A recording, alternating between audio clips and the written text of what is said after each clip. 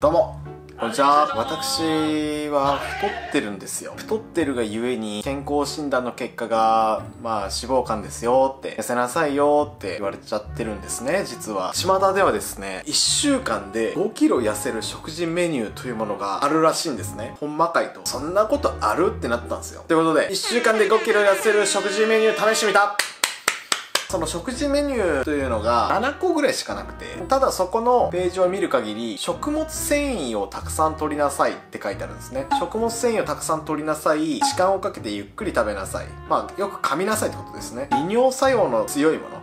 緑茶とかコーヒーとかを基本的には飲みなさいと。で、あと、18時以降はご飯を食べない。っていうのがあるんですよ。これの理由としては、消化をしてる時間を短くするっていうことで、すごい綺麗になるらしいです。基本的には、食べるものは、えっと、炭水化物は基本ありません。なんで、米、パン、麺、食べれません。まあ、こんにゃくとか、きゅうりとか、納豆、豆腐くらいなんですよ。なんで、食えるもんが非常に限られるわけですね。ただ、いや、そんな食物繊維をたくさん取るだけで、ほんまに5キロ痩せるんかっていうところに私、疑問を抱きまして、今回試させていただこうかと思っておる次第でおります。僕のね、1週間食事メニューを変える前の体がこんな感じです。今、くるくる回ってると思うんですけど、この時がですね、体重が73.95キロです。僕161センチなんで、標準体重としては54キロとかなんじゃないかな。言うたらプラス20キロあるわけですよ。ちょっと痩せなあかんよねっていうところですよね。で、なんか、食物繊維をたくさん含む食べ物であれば、まあ、OK と。トマトとか、キウイ、あれが食えるらしいんですよ。ちょっとした甘みを摂取できると。ということで、1週間5キロ痩せる食事メニュー試していきたいと思います。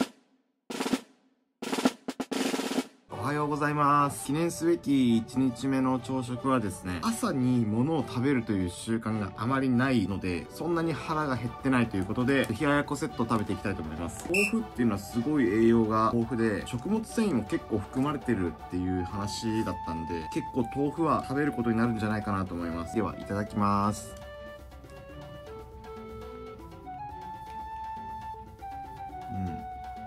噛む量を増やしなさいって、ハムとかそういうレベルじゃないよね、豆腐って。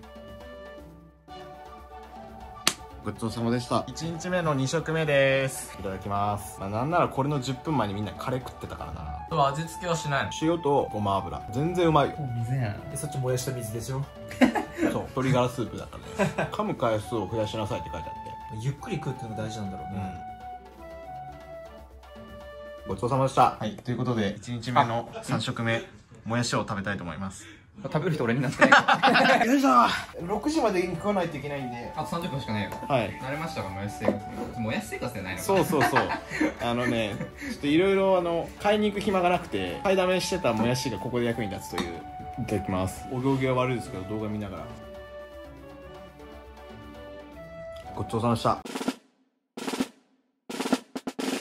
2日目、1食目、納豆風キムチネギ添えです。いただきます。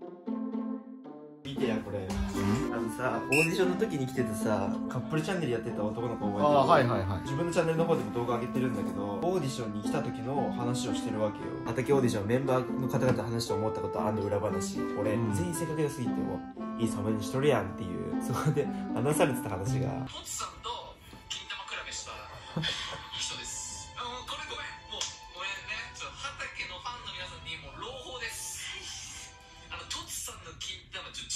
ご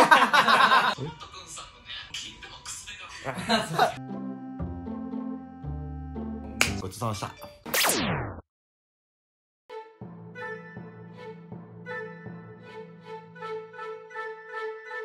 ピーマンの糸こんにゃく塩炒めです。いただきます。味いいそうさまでした。きゅうりとわかめの味噌汁いただきます。3日目の朝です。生春巻きにしました。いただきます。ごちそうさまでした。いただきます。作る暇がなかったんで、きゅうりとキムチとキウイ。4日目の朝も納豆腐いただきます。鶏肉としめじのトマトソース炒めです。いただきます。そう、忙しくて晩ご飯食べる時間がちょっとギリギリなんで、あの、トマト1個だけ食います。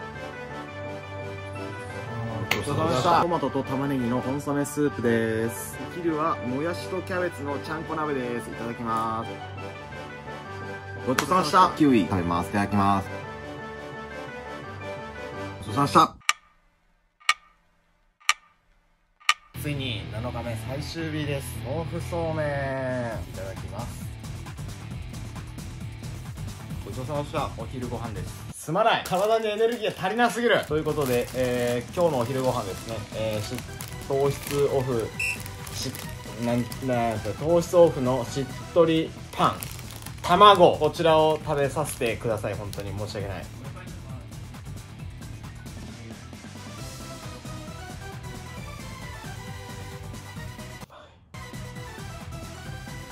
ひじき煮も食べたいと思います。ひじき煮も、えー非常に食物繊維が多く取れてカロリーもすごい少ないです。じゃあ親子丼いただきます。うまっ！うぜ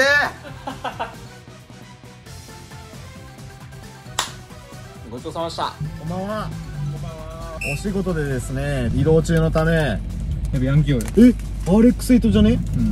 僕が欲しかった車っす。いやガチでいいんだよあれじゃなくて1週間頑張ってきましたと私。最終日最後の食事がいやミニトマトだけはきついってマジで。最後の晩餐それ？いや最後の晩餐。やっぱ食えるもんがなかった。仕方ない。トマトがあったことにはねやっぱ感謝しましょう。いただきます。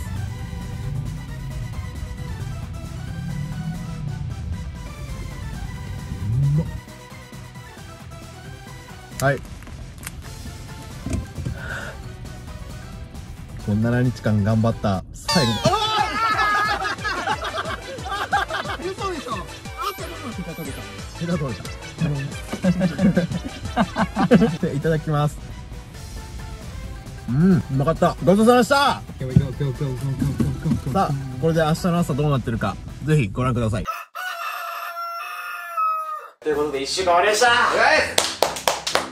哲也が見えん。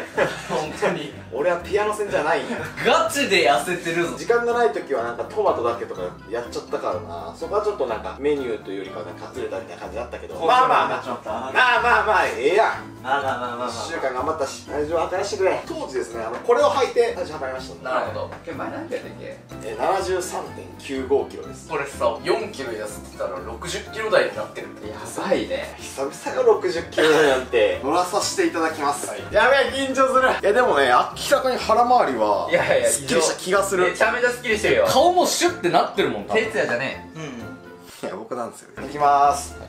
はい。どれどれ？お？肩にお前乗せんな哲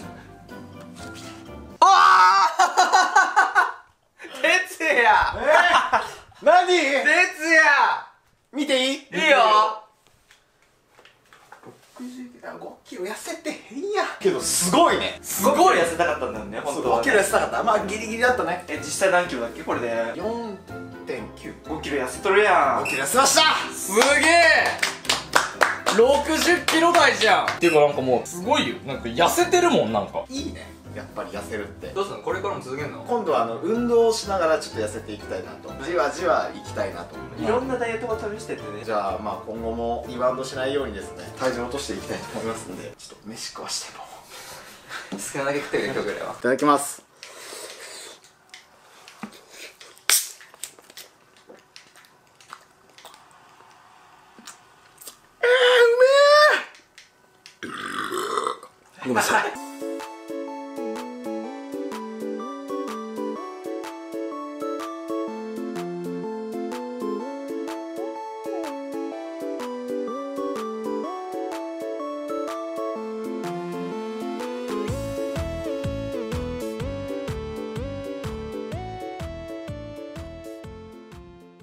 海外の遊びやってみようのコーナーなんだって？インスタグラムをよく見てるんですけど、結構おもろそうなことやってるのがあったんで、ちょっとやりたいんですけど、一人は一人に向かってボールを投げるんですよ。で、もう一人は、その投げられたボールを投げられてる人の手前ですぐピッてキャッチしないといけないっていう。守ってあげると？そう、びっくりしちゃダメっていう遊びがあるんですよ。じゃあ僕が投げるからキャッチしてください。で、それをローテーションしよう。どのくらいの速さだったんだよあ、結構好きな速さで投げても大丈夫です。じゃあ、顔か、うんおティンティンに投げるわ。分かった。守ってあげてください、ようはい。やくんは。わかりました。立ってもらっていいですか？はい。二人とも。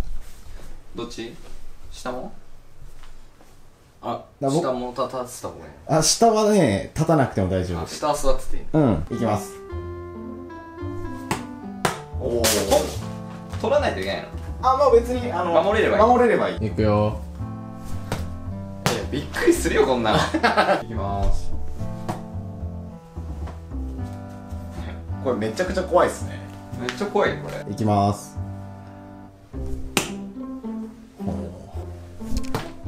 おお